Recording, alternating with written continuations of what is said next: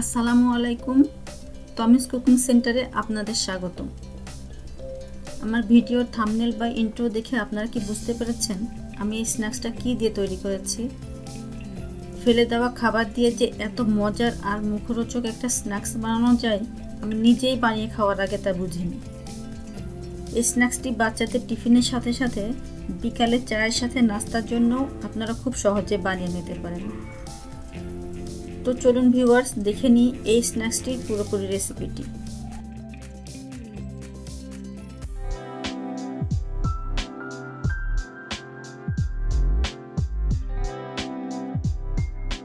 বিভিন্ন স্যান্ডউইচ বা ব্রেড দিয়ে খাবার তৈরি করতে যেয়ে আমরা ব্রেডের এই পাশের অংশটুকু ফেলে দিই। আজ আমি এটা দিয়েই মজার একটা স্ন্যাক্স তৈরি করব। আর এই স্ন্যাক্সটার নাম দিয়েছি ব্রেড ফিঙ্গার। এর জন্য নিচ্ছি এক চামচ চাট মশলা হাফ চামচ শুকনা মরিচের গুঁড়া আর পরিমাণ মতো লবণের সাথে হাফ চামচ গোলমরিচের গুঁড়া। শুকনো সব উপকরণগুলো একটু মিশিয়ে নিয়ে দুইটা ডিম ভেঙে দেব। ঝাল আর লবণটা আপনাদের স্বাদ অনুযায়ী কম বেশি করে নিতে পারেন।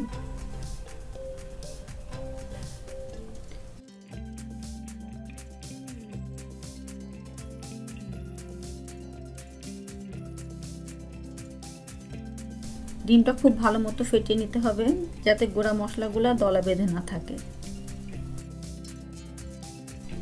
আমি চেক করে নিচ্ছি এর মধ্যে শুকনো মশলাগুলো দলা বেঁধে আছে কিনা।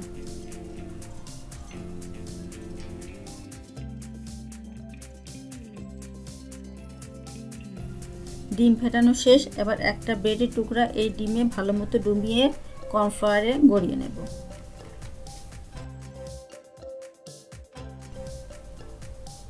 এই কাজটা কিন্তু বেশ ধৈর্য ধরে ভালো মতো ঘুরিয়ে ফিরিয়ে করতে হবে।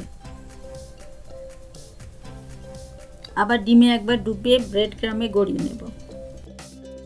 ভালো মতো ঘুরিয়ে ফিরে গ্রাম মাখিয়ে নিতে হবে।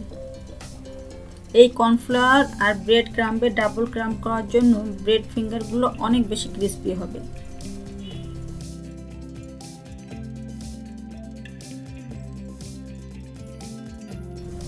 ব্রেড ক্রাম বা কর্নফ্লাওয়ারটা আমি বাটিতে অল্প অল্প করে নিয়ে মাখিয়ে নিচ্ছি। এতে করে পুরো কর্নফ্লাওয়ার বা ক্রামটা ডিম মেখে ভিজে তলা বেঁধে যাবে না। আর তাতে ব্রেডে মাখাতে সুবিধা হবে। আমি একই প্রসেসে সব ব্রেড টুকরাগুলো রেডি করে নিচ্ছি।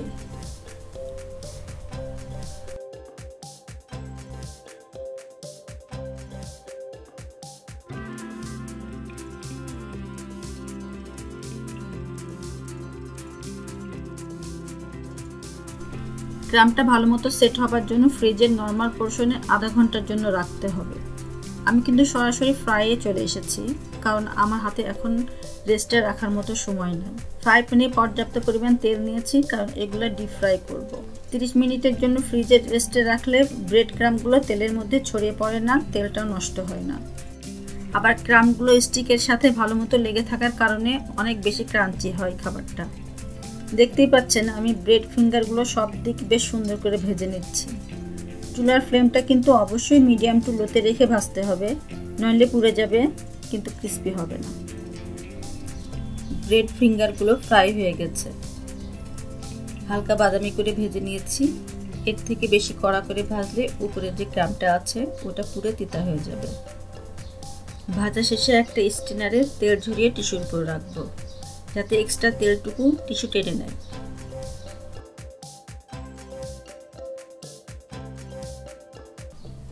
পরের ব্যাচে বাদবাকিগুলোও সেমভাবে ভেজে নিচ্ছি।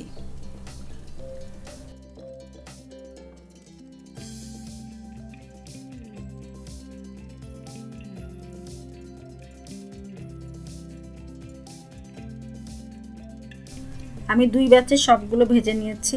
আর দেখেই তো বুঝতে পারছেন কতটা ক্রিস্পি হয়েছে।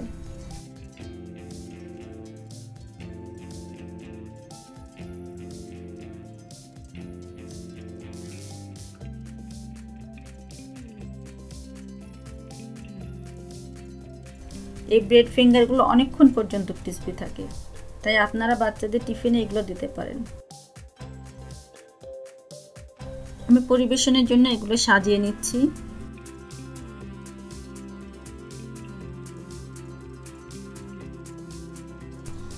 ভিডিওটা ভালো লাগলে লাইক, কমেন্ট করবেন আর সাথে সাবস্ক্রাইব করতেও ভুলবেন না।